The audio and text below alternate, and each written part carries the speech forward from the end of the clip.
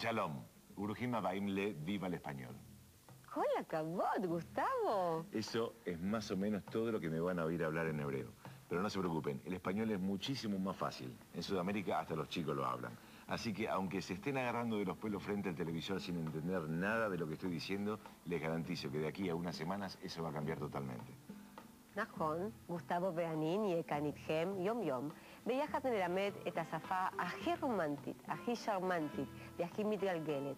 השפה שהפכה לשפה הרשמית של הטלנובלות. נכון, גוסטבו? Exactamente, me has quitado de la boca. וכמובן שאי אפשר ללמוד את שפת הטלנובלות ללא טלנובלות. אז איך זה עובד? כל יום נראה צנע במיני טלנובלה חדשה שכוללת את הביטויים ומילים. Y querría agradecer nuevamente al Instituto Cervantes de Tel Aviv que ha preparado el material de estudio especialmente para este programa.